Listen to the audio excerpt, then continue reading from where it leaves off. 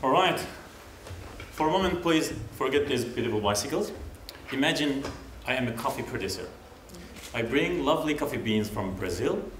I get help from expert in coffee industry, and I make the best coffee in the world. But I just give the coffee to our judges. You know? So what is this? It's not fair. How, you feel? How are people in the room feeling? It's inequality, yeah? No, I understand about inequality, and now I bring coffee for all people in the room. It would be amazing. But what is the mistake this time?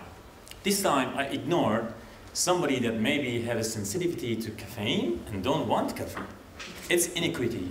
Then we don't consider all people, all needs, and all desire of people. Coming back to this slide, I'm a transport planner and I work on equity in cycling. Currently, considering equity in cycling projects is rarely a key objective. When we see literature review, lots of the works are about accessibility to bicycle infrastructure, but there are two layers that very, uh, people didn't consider them. One is population groups, and one is policy making and planning. My main objective in PhD is uh, people understanding people's perceptions role in equity in cycling. We combined a method in engineering with psychology and behavioral science and made uh, make a model to understand how people are different, how people think different, and how people's desire, uh, need is different about bicycle infrastructure. So the result could develop better policy for cycling, for equitable cycling environment in Auckland. So is it enough? I think it's not enough.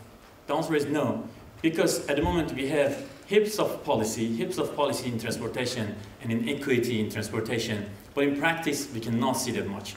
So I took one step further, and I want to understand what is the barriers to implement these policies in practice.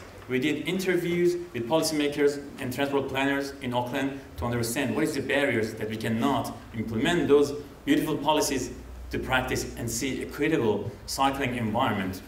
So the result of my PhD could be changing this statement of having good infrastructure for cycling to having fair bicycle infrastructure.